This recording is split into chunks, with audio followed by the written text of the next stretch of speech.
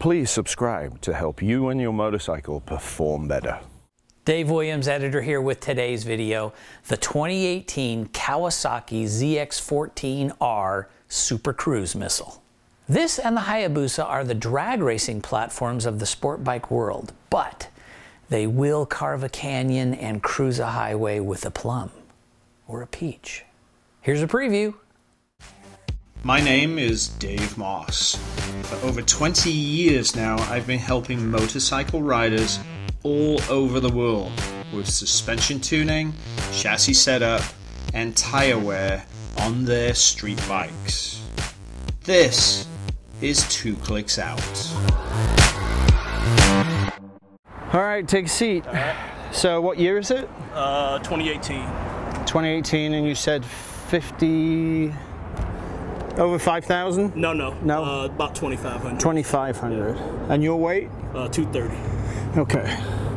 And with this use, Uh, twisties, freeways. Twisties and, and mostly, that's my Canyon Carver over there. So this Okay. is mostly comfortable. I don't want my back to hurt. I plan on riding for more than two hours. Gotcha. All right, But I so live right at the base of Yosemite, so I, that's kind of my normal jaunt.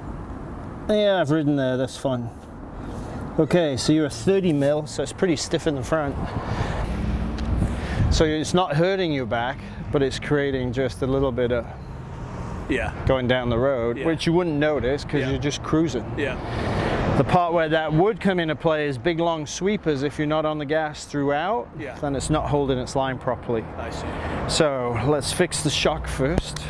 All right, stock rebound setting is one, two, three, four, five, six, seven, seven clicks.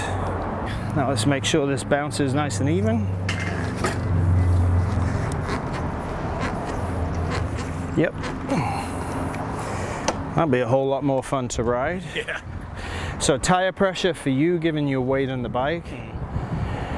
Test 40-40, Yeah. 38-38, Yeah. 36-36. Yeah.